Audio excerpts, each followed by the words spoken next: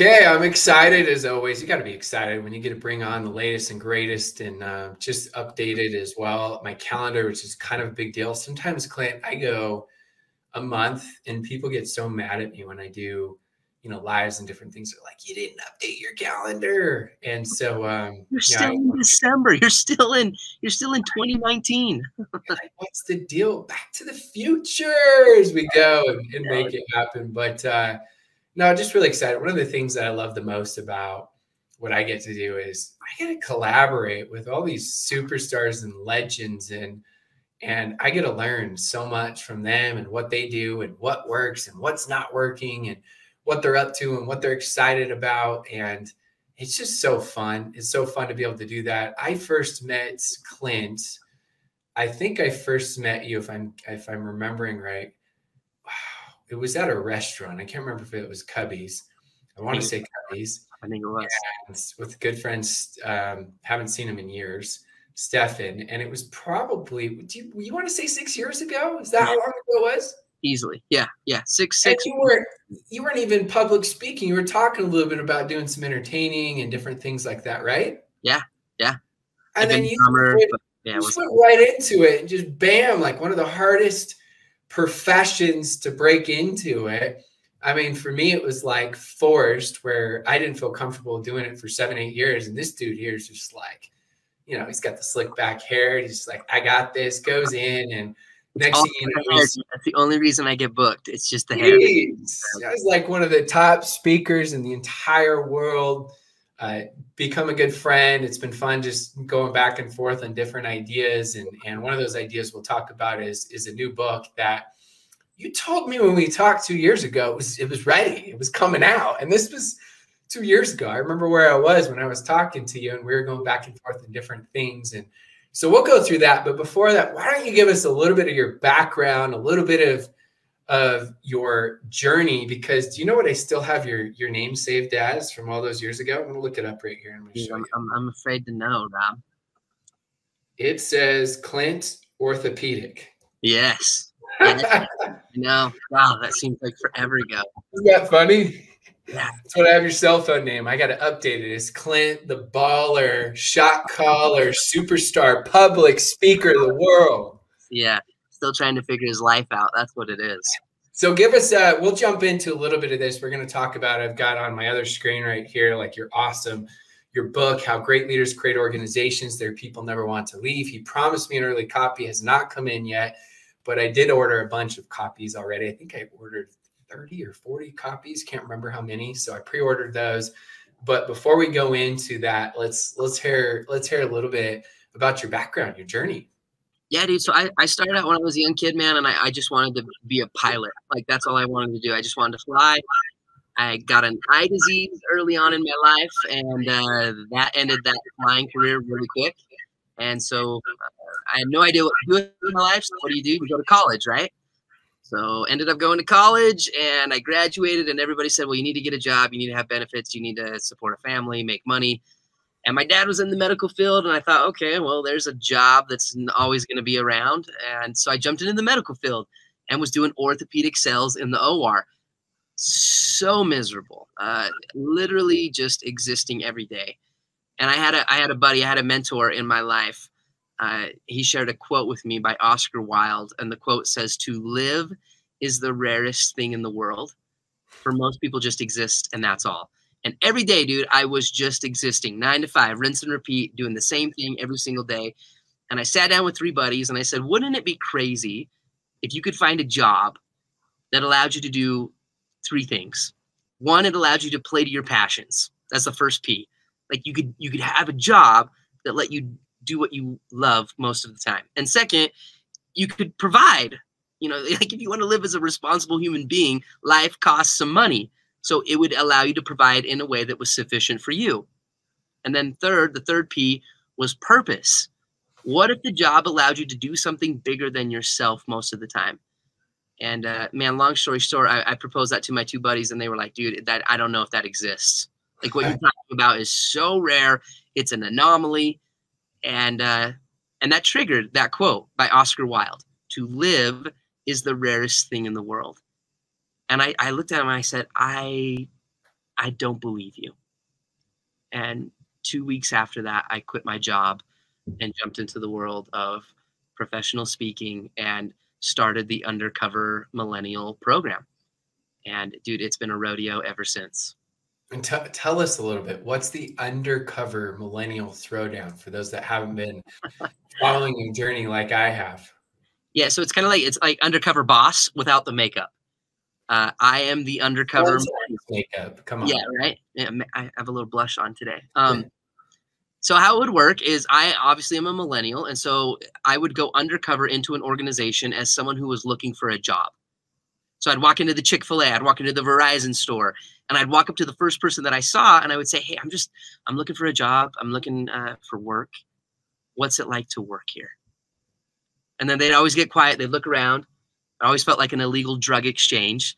And then they would tell me everything everything the good, the bad, what they loved, what they hated, what they loved about their manager, the, the person they, that they couldn't stand, whether they would recommend the job or not.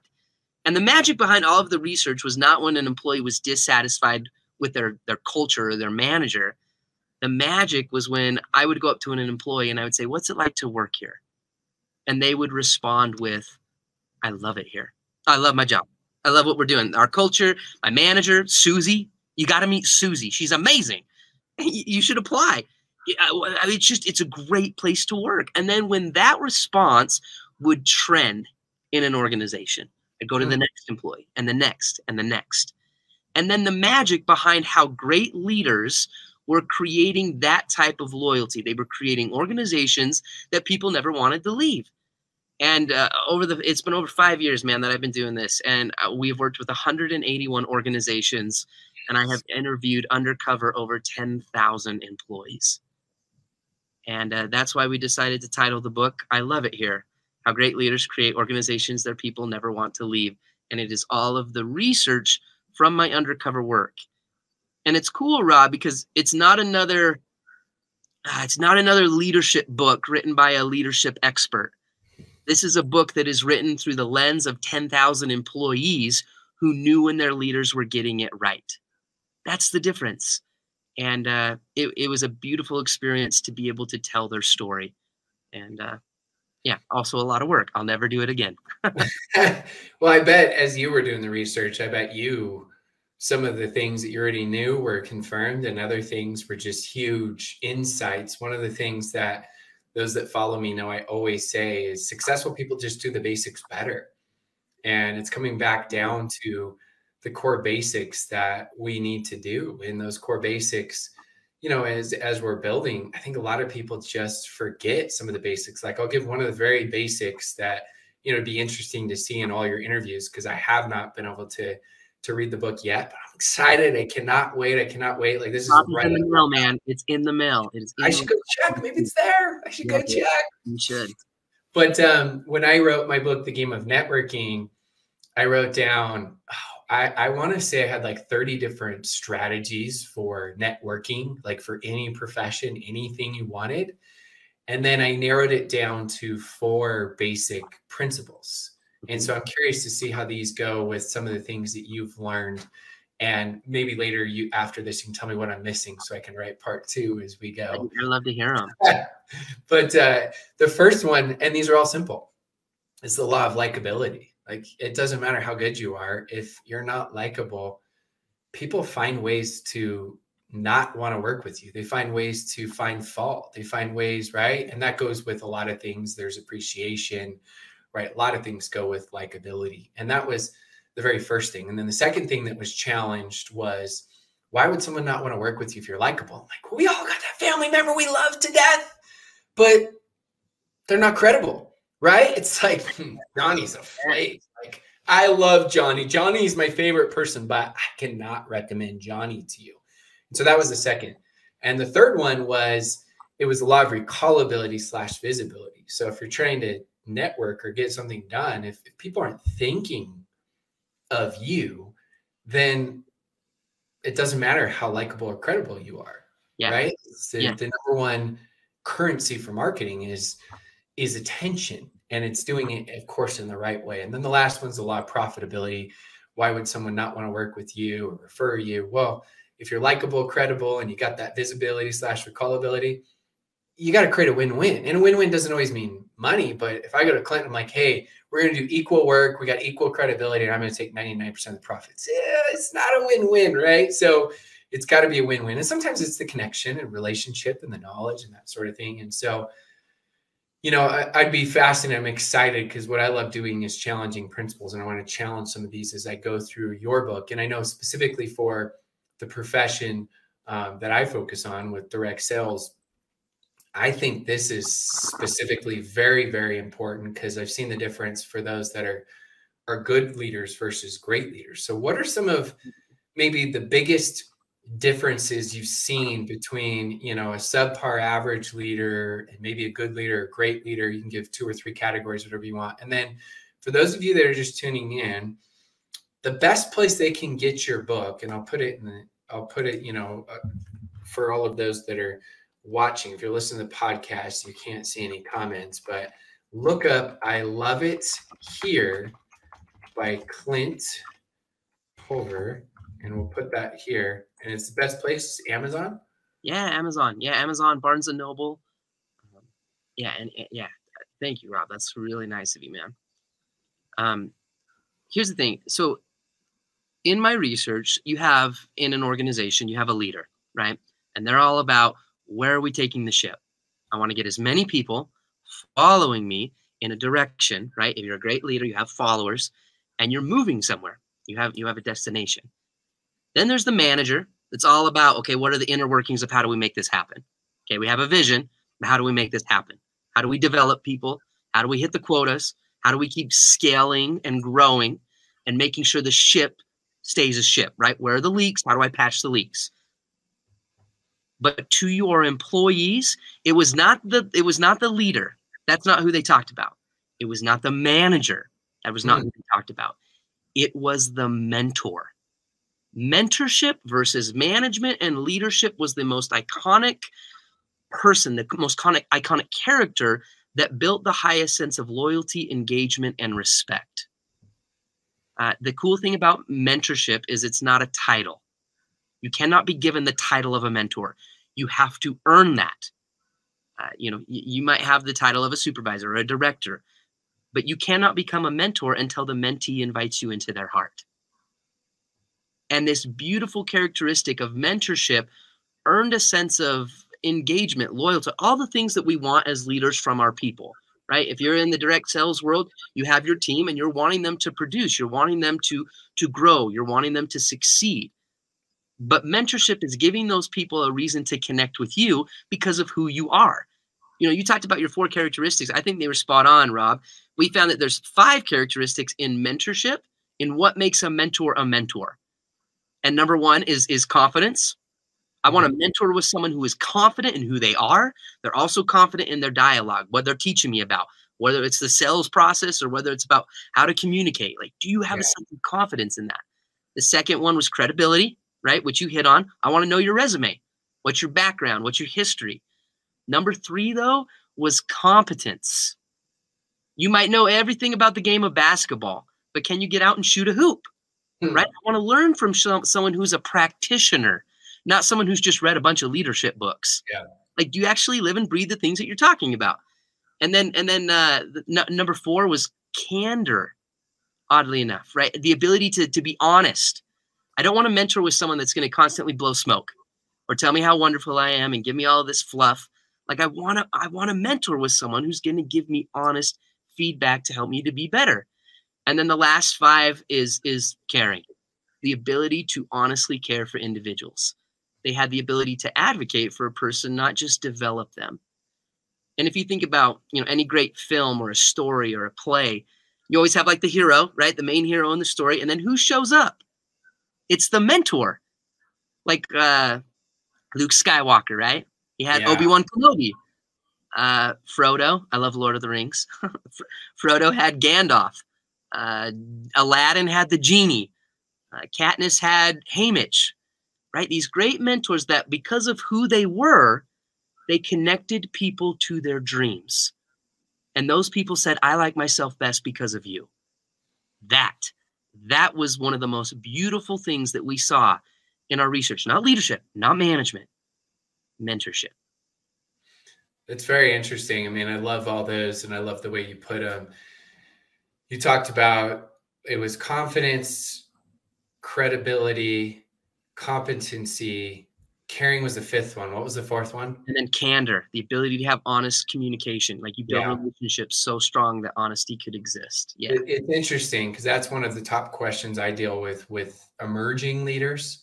And they're scared to have those deliberate, um, direct conversations many times. And I'm like, look, it's part of the process. They can't grow, you can't grow. Like you're both stunting it if you don't have those conversations. And I know it can be scary, but it's part of the process. And I, I love those those five C's and the way they're laid out because they all encompass. I mean, everything from from caring, right? Like, yeah.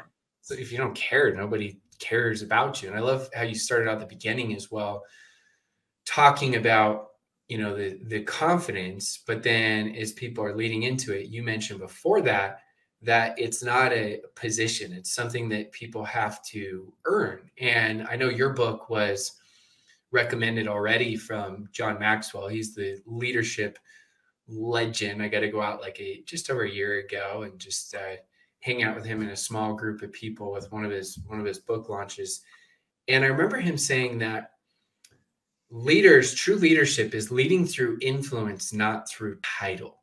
Yes. And that is just stuck with me because when we look at the servant leaders that are true leaders, right? Not dictators, true leaders, they're leading through influence, like people like Gandhi, right? No one had to follow them, they wanted to. Martin Luther King, right? It wasn't a position of title. And those are the ones that actually had the biggest influence and the most impact. So I like how you started that with the difference between someone being a mentor, right, versus a manager or somebody yeah. being an owner. Yeah, and that's who we remember. You know, if if you were to, you know, could you name like the last three NFL MVPs or who are the last two Miss Americas? Or do you know like who are the last two Academy Award winners for Best Actor? Honestly, Rob, I have no clue. I could not. I I, I don't know.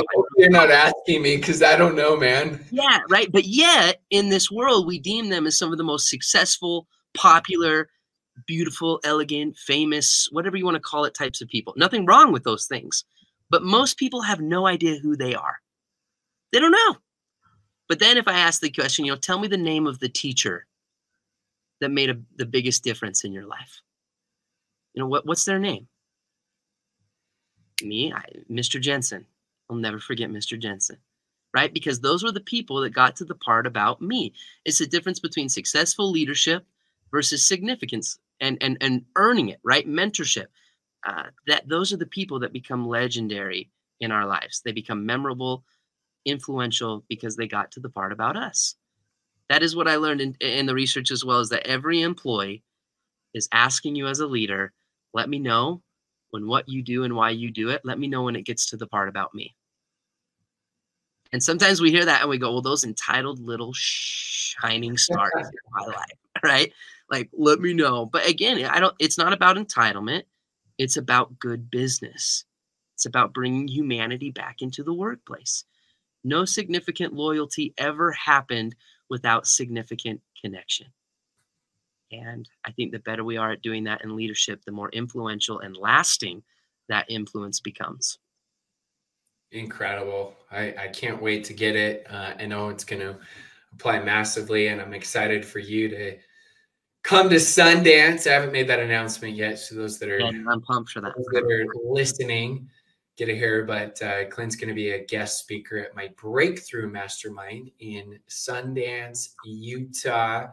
I think we got him pegged. I don't know, May 1st, May 2nd, one of those dates. We got it in the calendar, but uh, that'll be a ton of fun to have him there.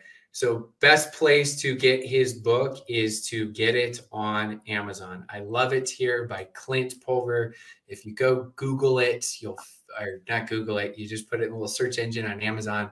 You'll find if you Google it, you'll find it as well, actually, because I've done that. But uh, go to Amazon, look for it there, get it, pre-order it right now. Where's the best place for them to follow you on social media, Clint?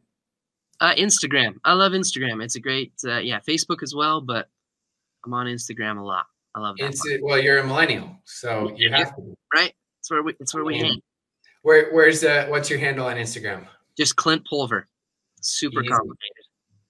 Easy, easy, easy. Go find Clint on Instagram. Go get his book. Clint, thanks so much for being on. I appreciate your time. I know you're you're slamming podcasts all day, every day right now, and doing all these trainings as your book just came out. So I appreciate you fit me in and and get me in your schedule, my man. No, dude, listen, Rob, I appreciate you, man. Uh, you are someone that literally lives and breathes what you preach and the advocacy, the support. You've always been a homie. You've always been there for me. And yeah, it means a lot. I appreciate it. Hey, we'll have to do this again and follow up with part two post book insights. It's going to be fun. You guys um, will want to I don't know if I'm alive. I might have oxygen, a few IVs in my body, but yeah, let's do it if I'm alive. we'll do it. Well, thank you, Clint. Thanks everyone for tuning in. As always, until the next time.